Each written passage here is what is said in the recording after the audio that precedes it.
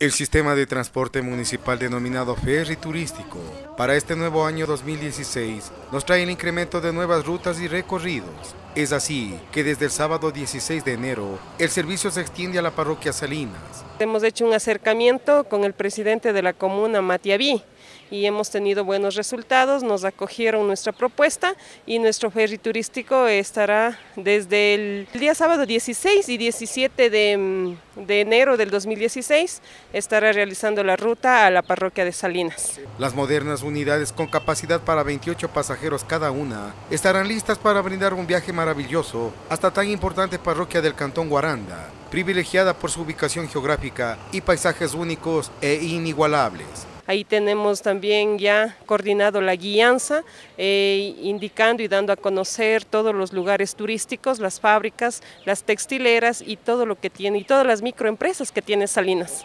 Asimismo, el funcionamiento del ferry turístico no solamente está destinado para el sábado y domingo, sino también en el transcurso de la semana se está brindando un servicio exclusivo para las unidades educativas. Conocer primero lo nuestro, nuestra historia, costumbres, tradiciones con las instituciones de importancia en la ciudad para así contribuir el conocimiento de nuestros niños y jóvenes. Eso ha sido el propósito de trabajar con las unidades educativas.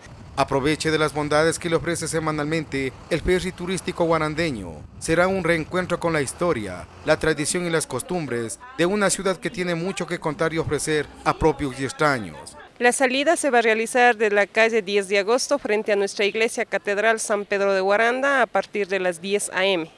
Con cámaras de Cristian Gutiérrez, reportó Víctor Hugo Poma para Canal 5, Televisión Municipal.